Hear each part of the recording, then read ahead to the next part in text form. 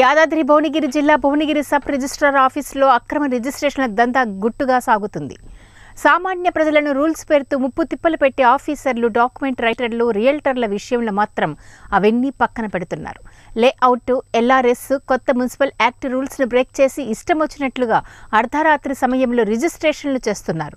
భువనగిరి మండలంలోని వడాయిగూడెం పరిధిలోని కొన్ని వెంచర్లు భువనగిరి మండలంలోని అనధికార లేఅవుట్లు పలు సర్వే నెంబర్లు ఉన్న ఎల్సీ నెంబర్లు లేని అక్రమ లేఅవుట్ ప్లాట్లను సబ్ రిజిస్ట్రార్ మంగళవారం బుధవారం వందల డాక్యుమెంట్లు రిజిస్ట్రేషన్ చేశారు. డాక్యుమెంట్ టు డాక్యుమెంట్ మాత్రమే చేయాల్సి ఉన్నప్పటికీ అందుకు భిన్నంగా పార్టిషన్ చేశారు. లేఅవుట్ ఎల్ఆర్ఎస్ మున్సిపల్ యాక్ట్లను ఉల్లంఘించి రిజిస్ట్రేషన్ తంతు పూర్తి చేశారు. ఈ విషయంపై సబ్ రిజిస్ట్రార్ వెంకటేశ్వర్లు వివరణ కోరగా ఎలాంటి సమాధానం చెప్పకుండా బయటికి వెళ్ళిపోయారు విషయం తెలుసుకున్న మీడియా ప్రతినిధులకు సమాచారం రావడంతో ఆఫీసును మూసివేసి వెళ్ళిపోయారు